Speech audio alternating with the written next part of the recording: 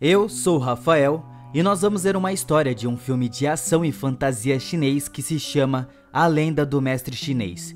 E ele tem uma nota 5 no IMDB, ou seja, ele não é lá essas coisas. Então, já segue no Insta arroba Filmes e cuidado com os spoilers. Vamos lá que a doideira dos chineses de hoje tá lá no teto.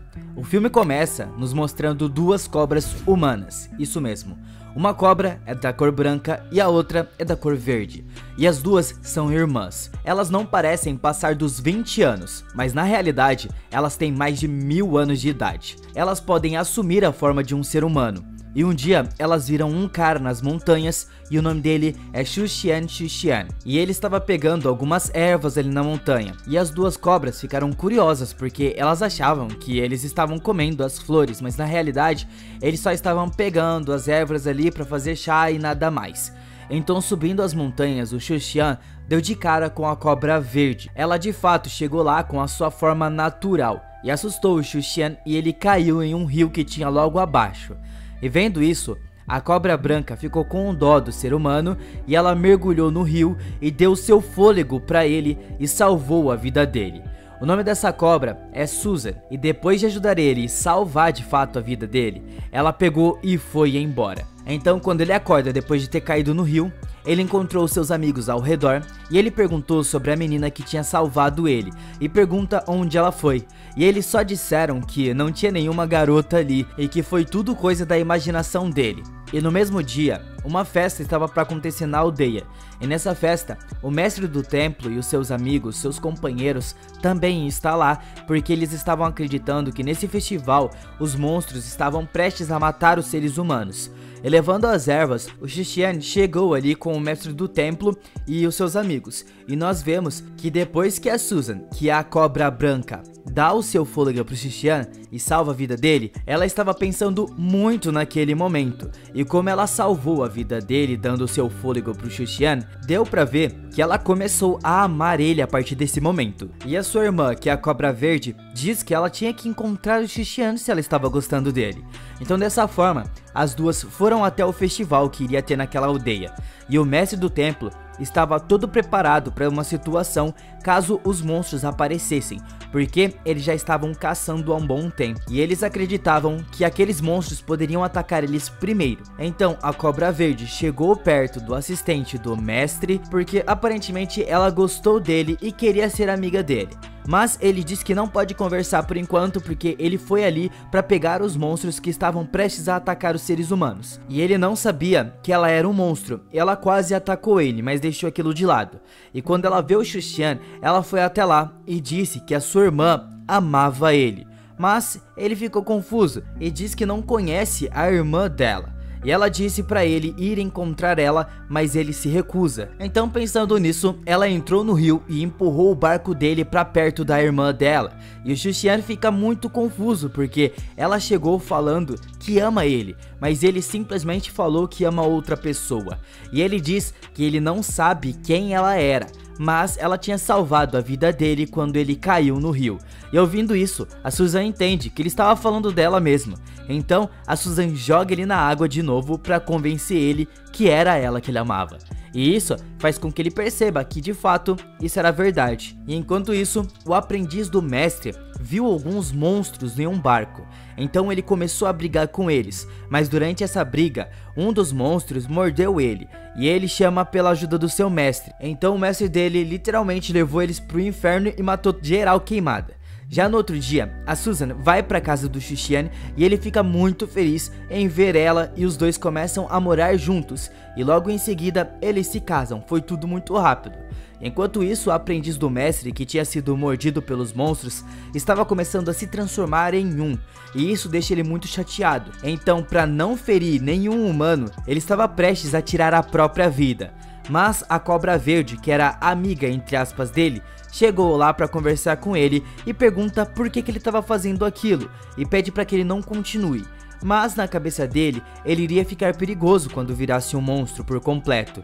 Então o jeito era tirar a própria vida. Mas a cobra verde, vendo isso, mostra sua verdadeira natureza. Então ela fala que não tem problema de se transformar em um monstro, porque ela também é um. E ela não faz nada de mal. Então depois disso, o mestre chegou à aldeia e vê que as pessoas ali estavam passando muitas dificuldades, estavam muito doentes por conta dos monstros. O Xuxian então costumava fazer alguns remédios com ervas para salvar o povo, mas era só meio que simbólico mesmo, porque nunca dava certo. Só que a Susan sabia que aqueles monstros eram muito poderosos e perigosos. Então essas pessoas não vão ser curadas de jeito nenhum com esse chazinho de ervas. Então ela respira em cima dessas ervas para ajudar o seu marido e salvar a vida das pessoas. A Susan tinha um ratinho que era amigo dela e pergunta por que, que ela estava fazendo aquilo. Tipo, você sabe que tá dando toda a sua respiração para isso, porque se ela continuar com isso, ela vai ficar muito fraca. Mas a Susan teve que ajudar o seu marido e aquelas pessoas. E quando o Xixian alimenta os aldeões com as ervas, eles parecem estar se recuperando muito rápido. Mas o mestre está chocado porque ele sabia que aquelas pessoas não seriam curadas, não importando o que acontecesse. E ele, não entendendo nada, pergunta para o Xixian se alguém tinha ajudado ele a fazer essa sopa de ervas. E ele diz que a sua esposa tinha ajudado. Então ele sabia que a esposa do Xixian não era um humano normal. Então o mestre deu uma faca para o Xixian que era sagrada para sua segurança. E depois disso, o mestre foi até a Susan e perguntou o porquê que ela estava fazendo aquilo, sendo um monstro. Ela literalmente casou com um humano e vive como um humano, mas por enquanto ele vai deixar ela de boa porque ela aparenta ser um bom monstro. Mas ela deve deixar o Xixian em paz e ir embora.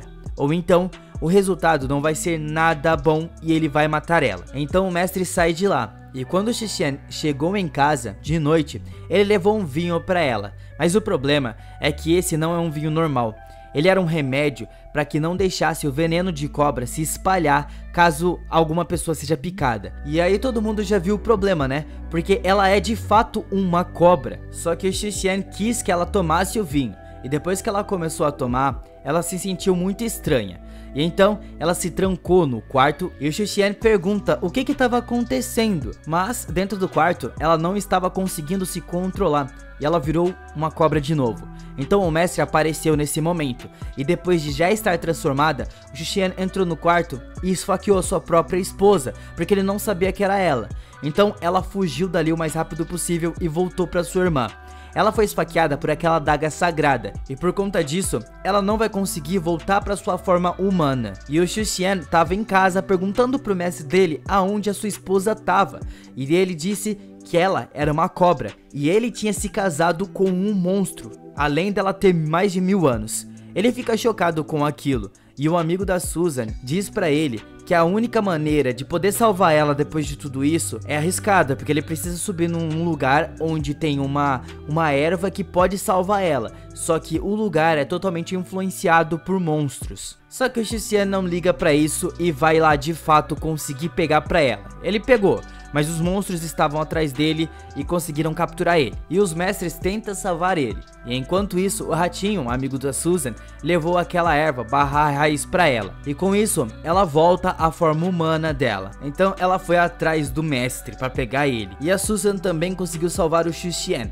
Mas ela pergunta se ele estava bem, só que ele tinha perdido a memória e não conseguia se lembrar de nada, nem mesmo da sua própria esposa. Então a Susan pergunta pro mestre o que ele fez com o marido dela, porque ele tinha se esquecido dela. Só que depois de um tempo, as coisas deram certo, porque o Xuxian de fato recuperou a memória. Mas, como a Susan era um monstro, o mestre fez uma armadilha para deixar ela presa em uma casa que era impossível de sair.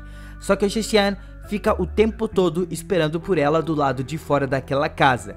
E além disso, o aprendiz do mestre que tinha sido mordido também se transformou em um monstro, só que ele é do bem e ele ficou lá com a cobra verde. E tudo isso foi finalizado com um final muito triste se for parar pra gente reparar bem, porque de fato eles não ficaram juntos, já que um ficou preso e o outro ficou do lado de fora só esperando o momento da que estava presa sair. Bom, eu espero que vocês tenham gostado do vídeo de hoje. Muito obrigado por assistirem o vídeo até aqui e até a próxima!